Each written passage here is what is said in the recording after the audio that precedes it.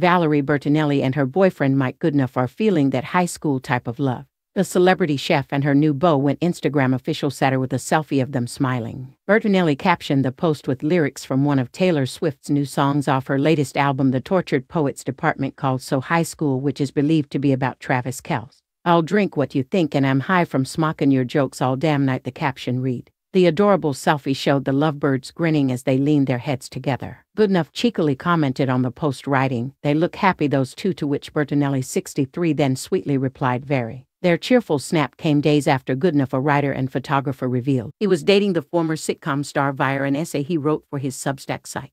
I am Valerie Bertinelli's boyfriend, and that may well be among the most surreal sentences I've ever pecked out, he gushed earlier this week.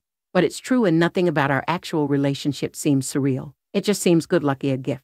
Bertinelli first announced she had a special boyfriend during an interview with USA Today in March. I've met someone, and I'm incredibly grateful for him, she confirmed to the publication at the time. It's unlike any relationship that I've ever experienced with a man. I don't want to say too much, but I feel incredibly blessed and lucky to have met him because I wasn't expecting it the one day at a time, Alum added.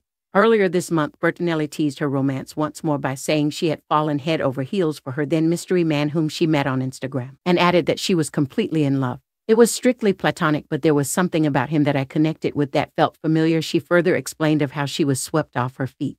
Bertinelli also noted that the pair had a crazy comfort level with one another. Bertinelli and Goodnough stepped out publicly for the first time earlier this month for a filming of The Drew Barrymore Show. Goodnough has also been following his girlfriend as she has been promoting her new cookbook Indulge in New York City. That was Mike as he was by her side exiting her taping of The Drew Barrymore Show on April 3rd. He announced on Wednesday through his social media platforms that he is in a romantic relationship with the One Day at a Time star. Not long after Goodnough posted online that he was the cookbook author's new man. Bertinelli first announced she was dating a new man in March 2024, over a year after she finalized her divorce from her ex husband Tom Vitale in November 2022. Bertinelli was also previously married to the rock icon Eddie Van Halen from 1981 to 2007. They shared an adult son named Wolfgang Van Halen. The legendary guitar player died at 65 in October 2020 following a stroke and longtime cancer battle.